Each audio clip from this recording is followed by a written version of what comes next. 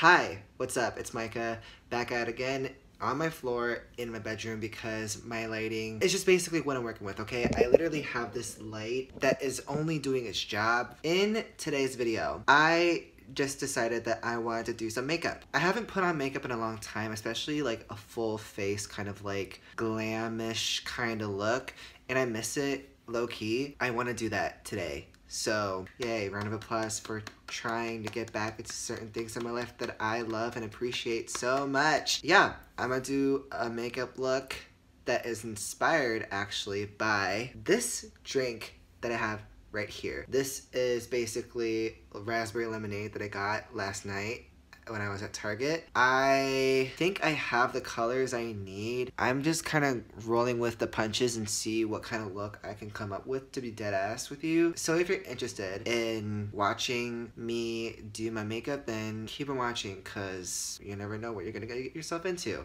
Yeah, cheers to that. All right, let's get to it. I think I'm gonna do my face first and then I'm gonna go with the eyes. For the face, I'm actually gonna do something really different. I saw this makeup video that I found from Jordan Liberty. So he basically said that there are four steps to this.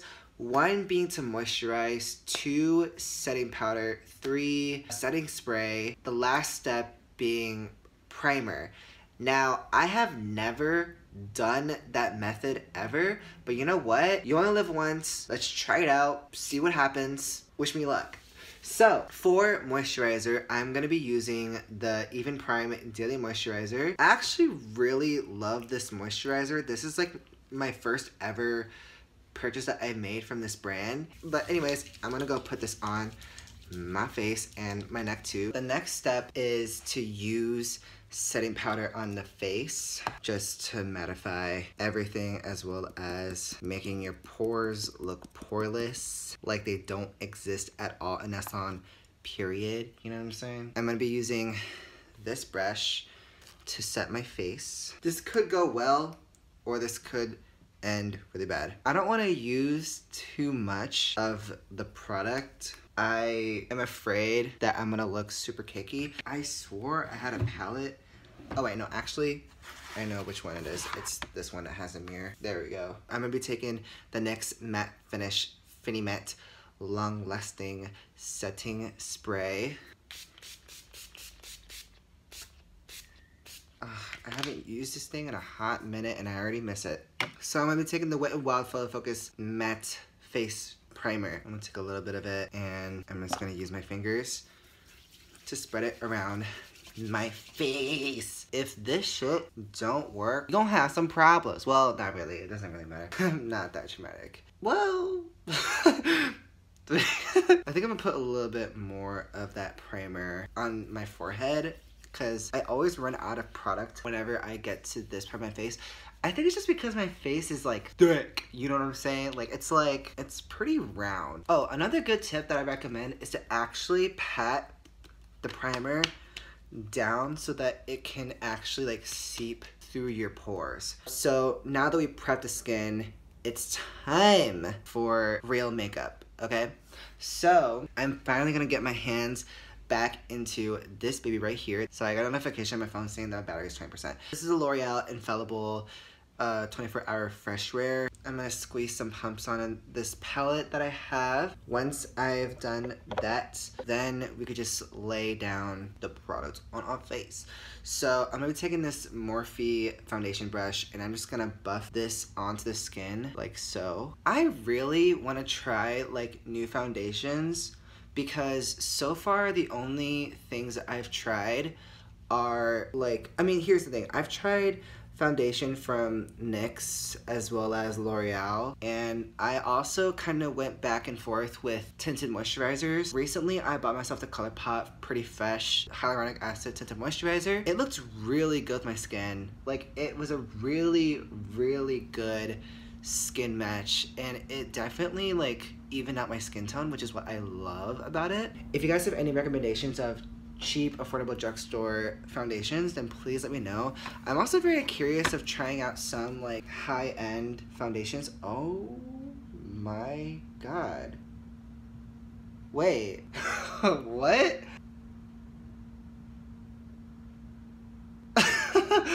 Wait, this bitch is on something. Girl.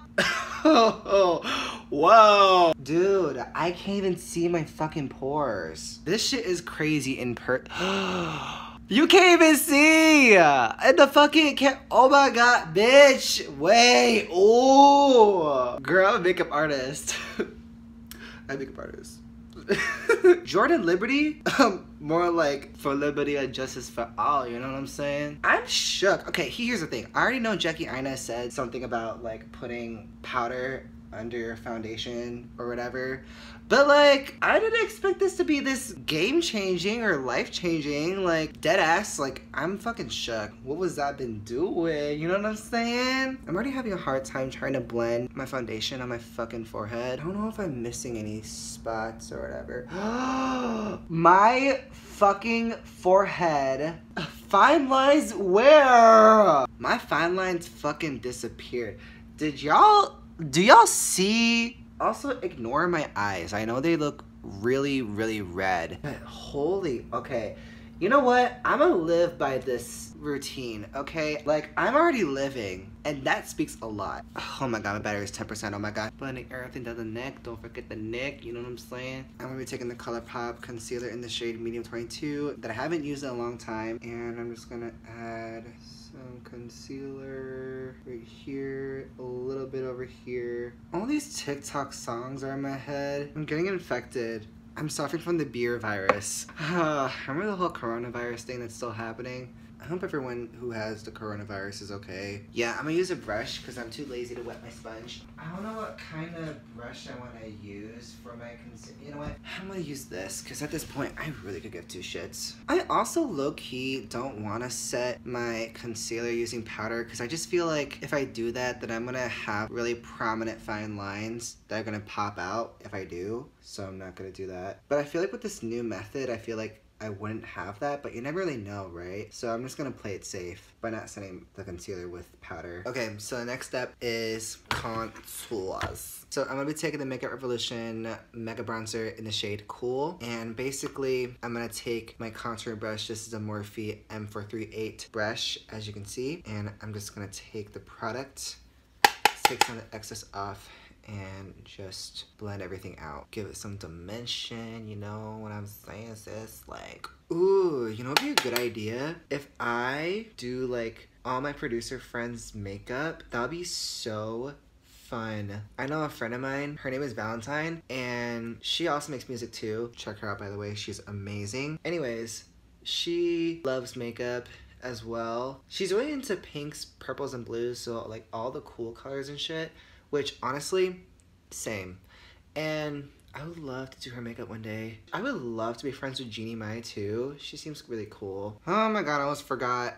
I forgot to contour my jawline. What else should I do next? I think I think I'm gonna do my brows next. Now that I blended my contour out a bit. Should I also do bronzer as well? Normally what I would do is I would take the Anastasia Beverly Hill powder bronzer in the shade Cappuccino. This is what the shade looks like. It's a lot more warm. Whenever I put it on, it looks a lot more reddish than I would than usual. I think what I'm gonna do is I'm gonna take a little bit of it, just dust it off with my wrist, and I would just put a little bit of it on the areas I have contour, just to give my face a little bit of that warmth. I'm gonna add blush and highlight in a bit, but before I do that, I'm gonna just gonna do my brows. I'm gonna be using the NYX uh, Fill & Fluff eyebrow pomade, pomade, whatever, I don't care. Pencil in this shade Espresso, and it's a really dark brown kind of shade. For this product specifically, you really have to go light hand on this because if you go straight in, it is like super pigmented, so you have to be really careful. Like I am literally hovering because that's how pigmented it really is. I think I'm gonna do my brows off camera because this is hard. Um, but I'll be right back. Okay, so I've done my brows, and personally, I do not know how to feel about it. Um, I almost forgot that I need to put on some brow gel to lay the brows in place, and so I'm gonna be taking the NYX Tinted Brow Mascara in the shade black. Now, let's get into the eyeshadow. For this look, I'm gonna be relying on the BH Cosmetics Blush Neutrals eyeshadow palette. I'm pretty sure that I could definitely find a color that matches with this drink. I think this can definitely match, but I feel like I want to go for something a little bit brighter. Yeah, I think this shade right here is a really good match. But I'm thinking I want to do something with this shade too. So what I can do is I'm going to take this shade and I'm going to lay it out on the outer and then I could put the brighter shade on the rest of the lid. And then maybe I could go in with a different palette that has like a duochrome like peach to yellow, like peach to gold. There is this shade that I could use that I could put on the rest of my lid. So that should be interesting. Looks like we have a game plan set. But before we go right into the eyeshadow, we're gonna prime our lids. I'm gonna be using the P. Louise eyeshadow base in the, shade Rumor 2. I'm just gonna pat this down. I know that this shade in particular is way too light for my lid, but at the same time, this is low-key a good thing because if you're trying to add like bold shades, then having a lighter base or even a white base is really good. So that way you can get a lot of color payoff, which is what I kind of want. You know what I'm saying? It looks ridiculous. I know, but don't worry, you guys. I ain't trying to do you guys dirty like that. I really just want you guys to trust me. Dude, I haven't even done eyeshadow in a long time, and I'm like low-key scared. I'm gonna do more on the other side now.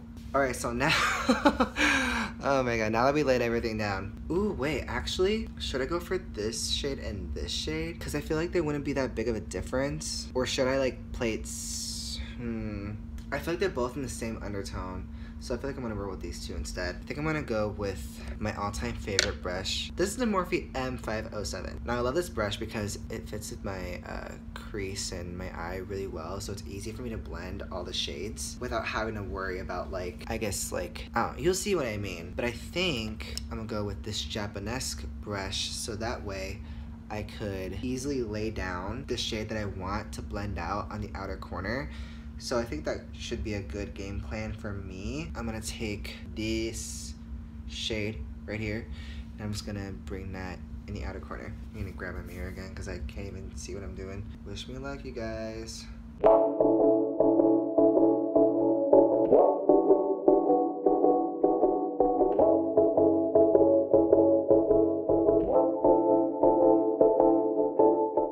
So I'm pretty much done with laying out uh, the eyeshadow in the outer corner. Now we're gonna go to the inner corner. So what I'm gonna do next is I'm gonna basically pack on this color on the rest of my lid. I wish it had a mirror on it. That would be cool. But anyways, I'm gonna take that shade that I just mentioned previously and I'm just gonna basically pat it down on the rest of my lid.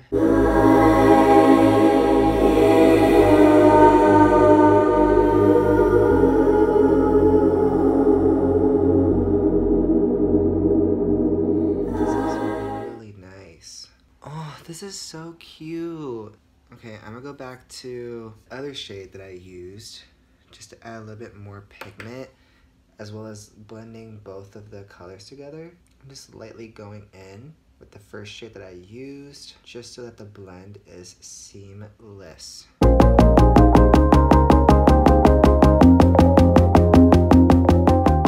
Oh, this is actually really cute. I'm doing such a good job so proud of myself. We love self-love. Everyone deserves self-love, dead ass. Self-hate is annoying.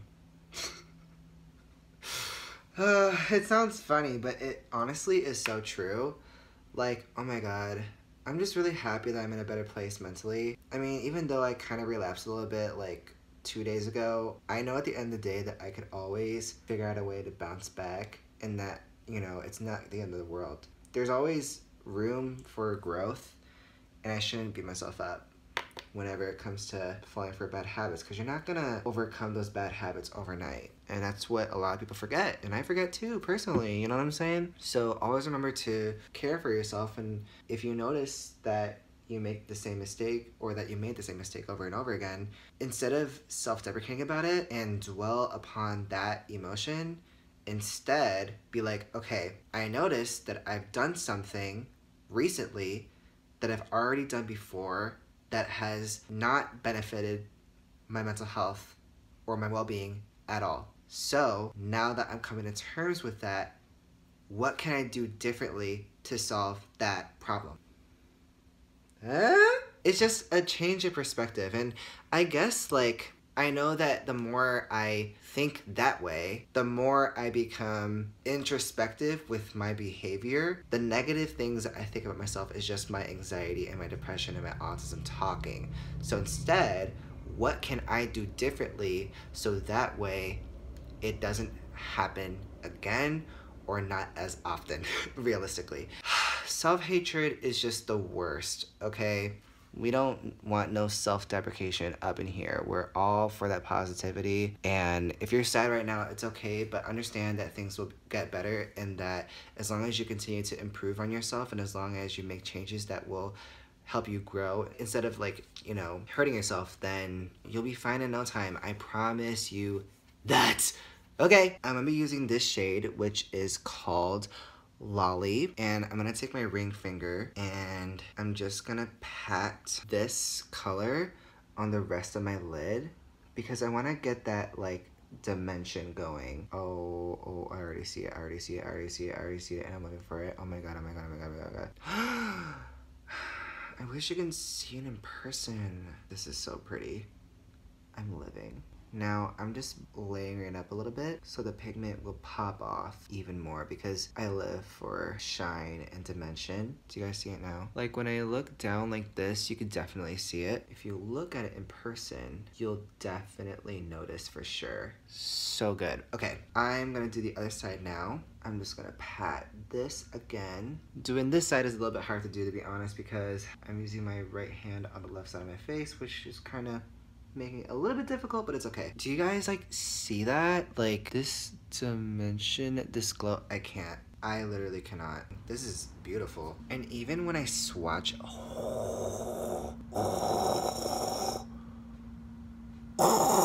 I'm gonna do the under eye.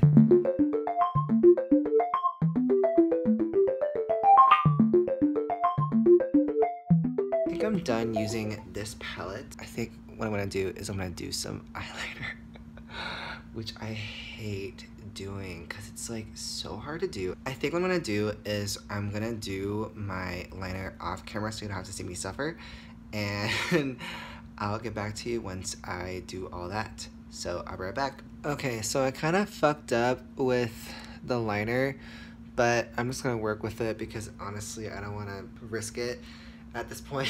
so uh, we're gonna go for mascara now. I haven't worn mascara in a hot minute. This is uh, uh, the L'Oreal Voluminous Lash Paradise. I'm just gonna put that on my lashes. I also haven't worn fake lashes in a hot minute, but I'm not gonna do that because I'm lazy. Hey Google, what time is it right now? 10.02.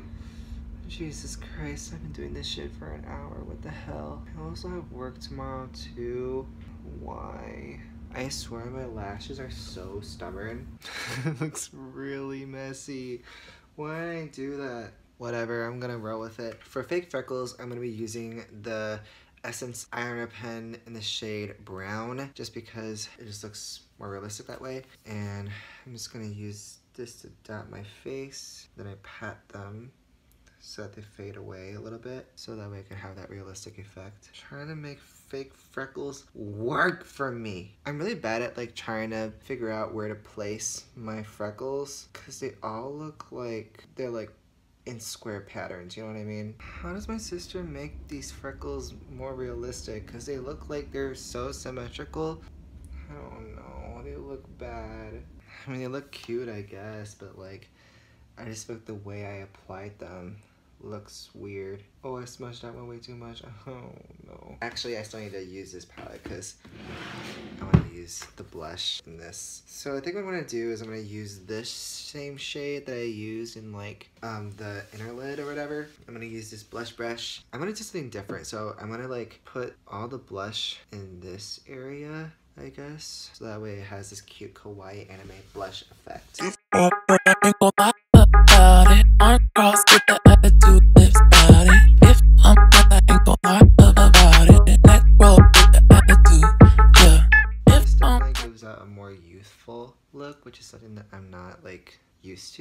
Because normally whenever I apply blush, I apply like this and I apply some at the tip of my nose. But I'm doing it a little bit different. It's how a lot of e-girls would do it. And honestly, this kind of looks cute. What do you guys think? Let me know in the comments. Oh my god, it looks so cute. I'm gonna be using the BH Cosmetics Spotlight Highlight palette. And what I'm gonna do is I'm gonna take the shade Radiance right here. I'm just gonna apply that my cheekbones to have that glow. Mm-hmm. Don't I look cute? Tell me I don't look cute. I fucking dare you. Exactly.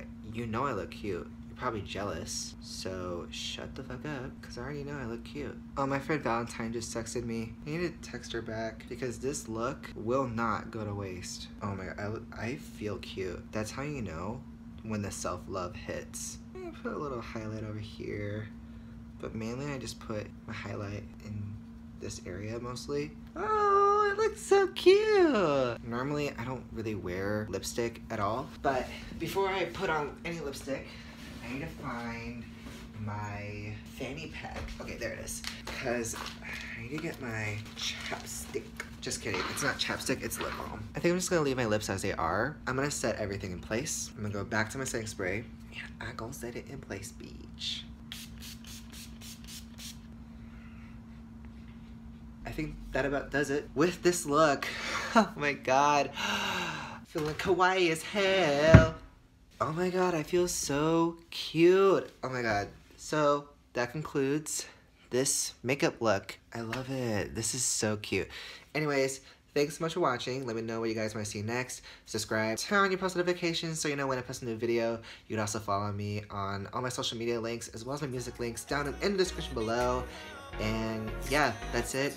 I love you guys so much. And until then, I'll see you in the next one. Bye.